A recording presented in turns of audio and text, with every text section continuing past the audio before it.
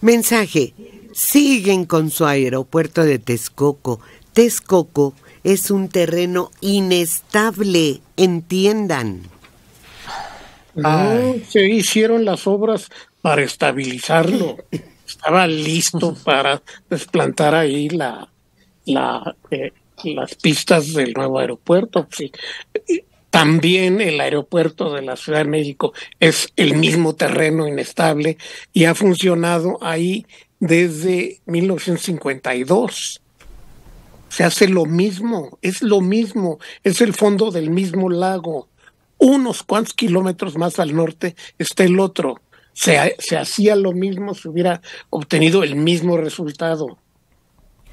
No era nada que fuera imposible de manejar.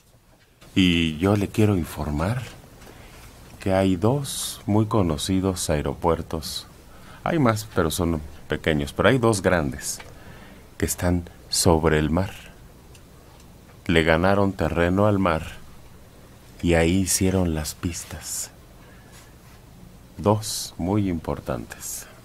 David Romero, Adela siempre atacando al gobierno actual. De los anteriores no dice nada, los defiende.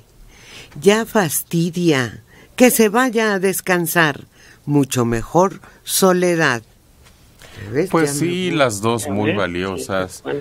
Pero, pero es que el gobierno actual está ahora. Estamos transmitiendo ahora.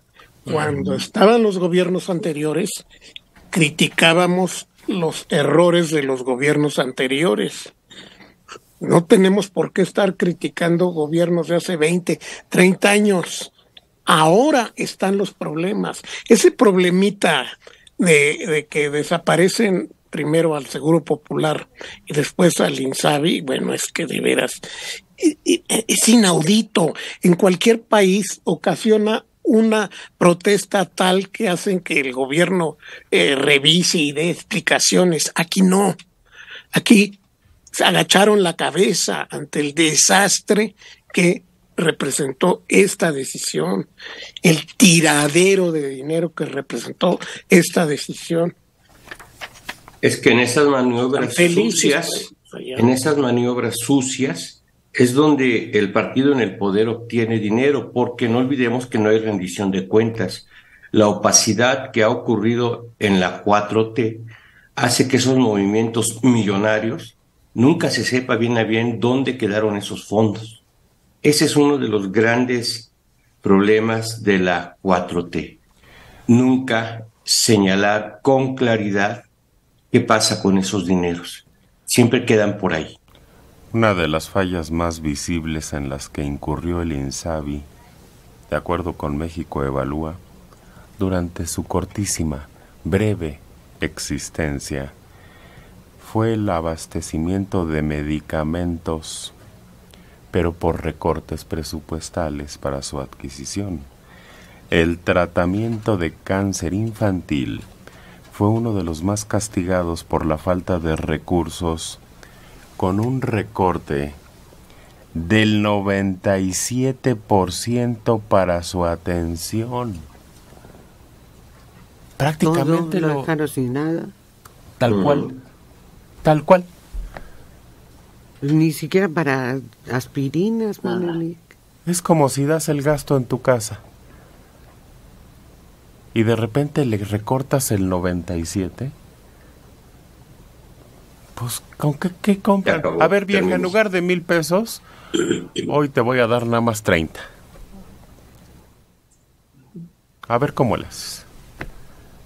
Pues prácticamente la estoy mandando a... A pedir limosna menos recursos no solo por pacientes, sino también desmantelaron el fondo que cubría enfermedades de alto costo. Las personas más pobres son las que salieron perdiendo con esta transición del seguro popular. El gobierno destina menos recursos por paciente y desmantela el fondo que cubría enfermedades de alto costo como el cáncer sobre todo el desmantelamiento del FONSAVI, que es el Fondo de Salud para el Bienestar, provocó un desabasto de insumos para atender enfermedades graves y provocó largas listas de espera. El tratamiento más afectado fue el cáncer infantil con un recorte del 97%, es decir, 450 millones de pesos, comparándolo con el gasto del sexenio pasado.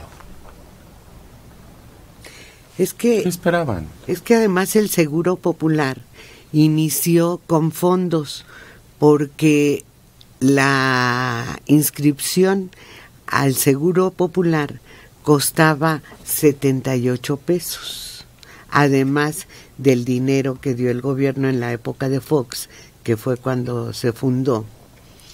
Pero te, cobraban por inscribirte. 78 pesos y te daban tu credencial del Seguro Popular. Pero además los fondos, en nada más en los primeros tres años, dieron la oportunidad de ver la creación de clínicas, hospitales, el hospital de la Jusco Medio, creo que se llama. Ese es un hospital que era parte de la estructura del Seguro Popular.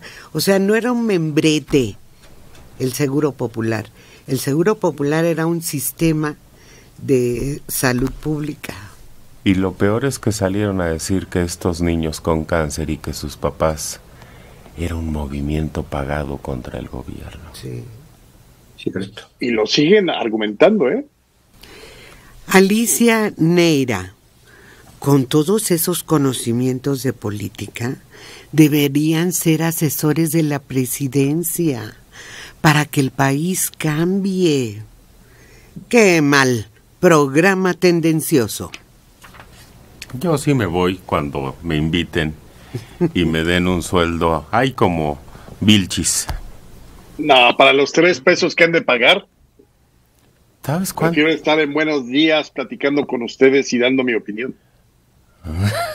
Se queda Alejandro. Yo me voy. Ay, no, yo también me quedo con Alejandro, yo no. Ah, bueno, Adela también se queda. Yo también. Dora también se queda. Agustín se queda. Me quedo también, me quedo. Sí, me quedo con Adela. Mario. Con Adela. Si te llaman, ¿también te quedas?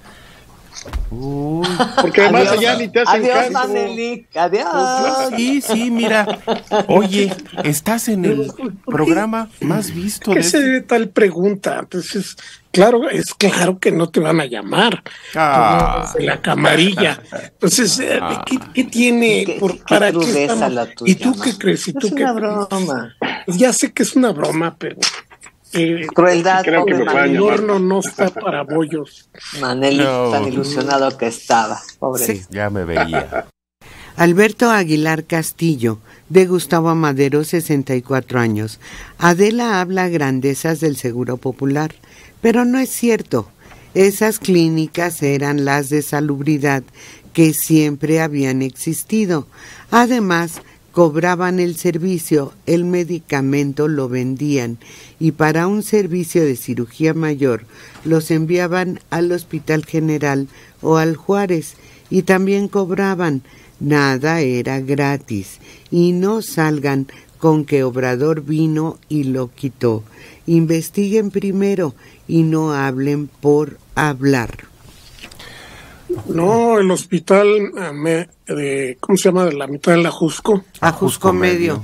Jusco Medio, era gratuito. Ahí operaron a una sobrina mía, gratuito. Y además eh, había un seguro para enfermedades catastróficas. Sí. No pagabas ni un quinto en tratamientos de cáncer. Y había disponibilidad de medicamentos. Yo conocí casos en que eso funcionó. Me parecía maravilloso.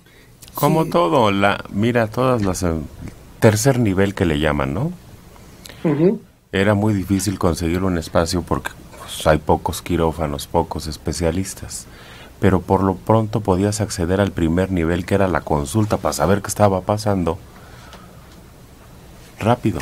Y los que tenían su tarjeta del Seguro Popular este, ellos no pagaban y efectivamente utilizaron los consultorios de salubridad, los, eh, los actualizaron en muchos de los casos y ahí los atendían y atendían los que no tenían su credencial del Seguro Popular y a los que tenían su credencial del Seguro Popular que tenía ventajas.